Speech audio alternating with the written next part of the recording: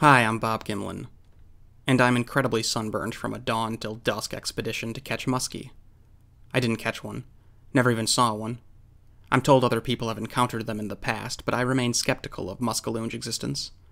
The name muskie or muskellunge comes from the Ojibwe word mashkanoos, meaning ugly or deformed pike fish snake.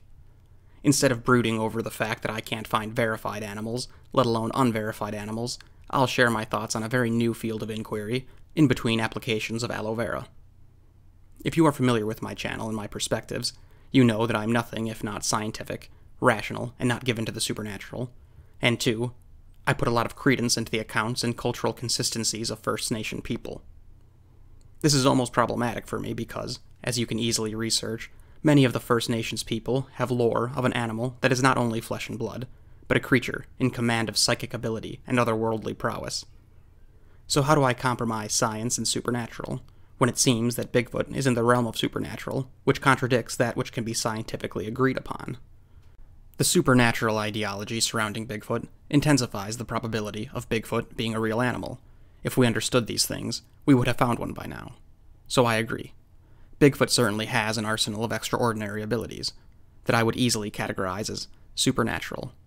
And that's because supernatural is defined as something that is incapable of being explained by science or the laws of nature. And I would add to the end of that, yet. One such field that science has only begun to investigate and explain is that of bioacoustics. Bioacoustics is the study of sounds made by organisms and how other organisms react to those sounds.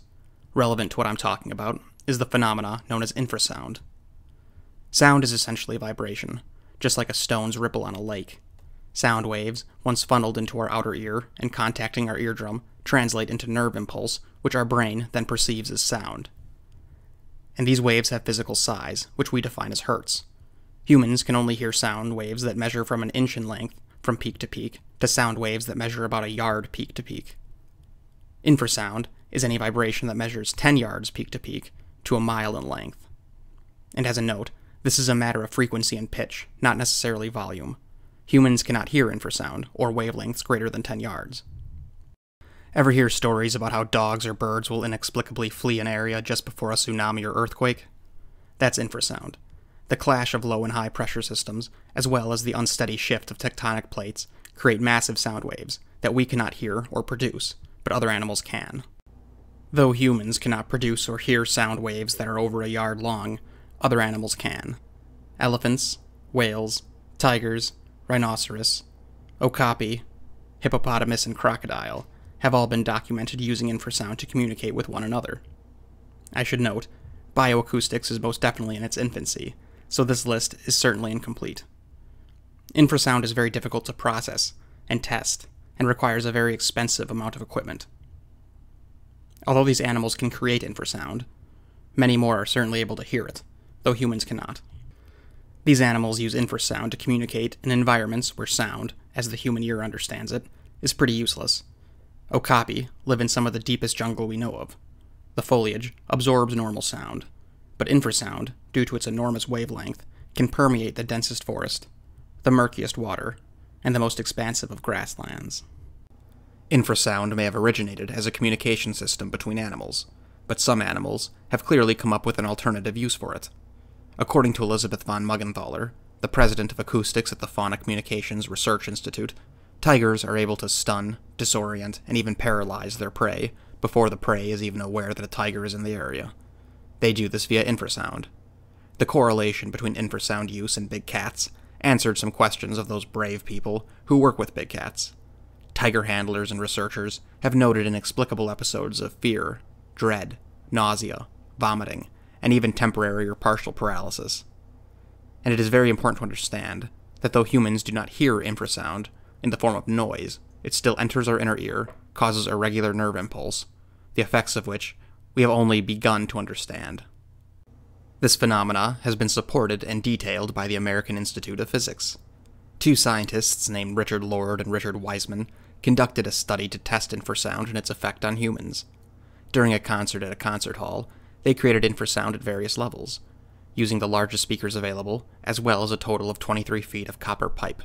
They randomly played various levels of infrasound during the concert. Remember, we detect infrasound, we don't hear it. Wiseman and Lord confessed that their device for producing infrasound was imperfect. Yet when the unwitting concert goers were interviewed about their experience, over 20% of the concert goers reported that they had completely inexplicable feelings of uneasiness or sorrow. Some people kept getting chills down the spine, or nervous feelings.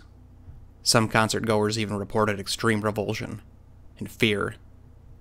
Dr. Wiseman concluded his findings by saying that low frequency sounds can cause people to have unusual experiences even though they cannot consciously detect infrasound. There is an episode of Survivorman where Stroud says that he can deal with bear and wolves, but there is something about big cats and being in big cat territory that strikes a particularly visceral fear, like no other. Well, he may have been more right than he knew.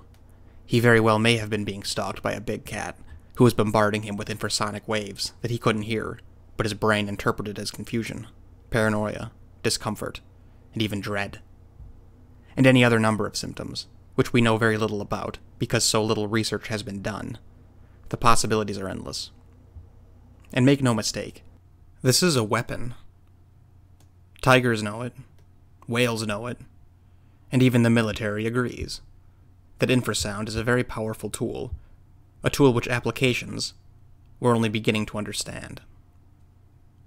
As far as I can tell, no research has been conducted involving infrasound in primates but gorilla, as well as any potentially other large primates, fit the size, intelligence, and environmental requirements to be able to produce infrasound.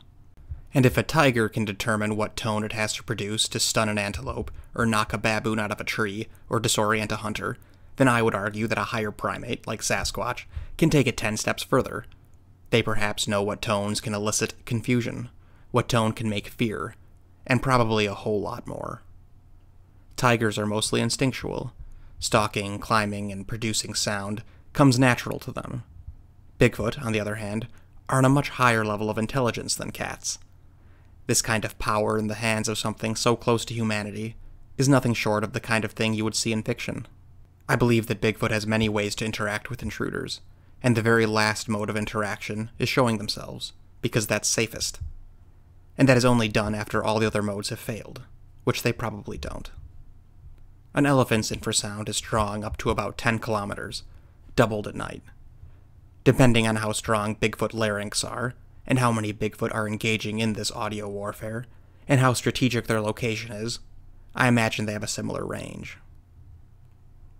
Bigfoot still remains a mystery to this day because Bigfoot is a field of study that comprises many fields of study that are all in stages of infancy.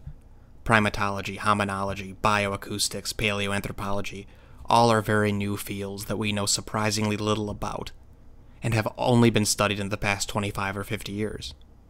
Infrasound being used as weapons by tigers has long been suspected, but only verified about 15 years ago. We understand so little about our own brains, let alone their brains. And honestly, the implications of Bigfoot and infrasound are quite startling. I mean, imagine if you could use it.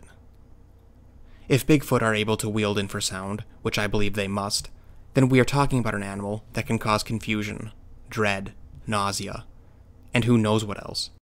If Sasquatch are as smart as the known higher primates, and I believe that they are much smarter, then like the known primates, they practice, they teach, they learn, they figure things out, they take pride in victories and learn from losses. Give this creature, something that is essentially a superpower, and the possibilities are endless. Why do you think Patterson and Gimlin's horses bucked their riders before the creature was even visible? Why were the hands on the cameraman trembling so much that a rock was required for stabilization? Infrasound would give Bigfoot the ability to deter humans from the safety and comfort of the high ground.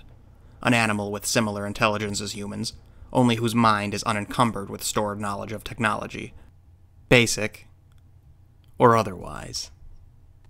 And have you ever noticed how many alleged recordings of Bigfoot calls sound suspiciously like coyote, wolf, bobcat, or owl? Well, this is likely because the alleged Bigfoot recordings are made from a coyote, wolf, bobcat, or owl. If Bigfoot are capable of emitting infrasound, which I suspect they must be, then they would surely use it, knowing well that humans cannot hear it, but are still affected by it. Infrasound permeates a greater distance than the sound that humans can detect, and an added bonus is that it is silent to humans, like a dog whistle. So, in regards to the Native American tribes that endow Bigfoot with supernatural prowess, they are more or less right. They probably do have powers which we know little to nothing about. But I don't think Bigfoot are paranormal. But technically speaking, I do think they are supernatural. Because we can't explain it all. Just yet. And I'm trying my damnedest to do just that. And I know this whole theory is a bit out of the box, but guess what? That's how you have to think when you're trying to explain that which is currently unexplained. Do you think infrasound is plausibly used and perfected by Bigfoot? I sure do. It answers a lot of questions. But let me know what you think. Like the video, subscribe if you haven't already, and as always, thanks an awful lot for listening.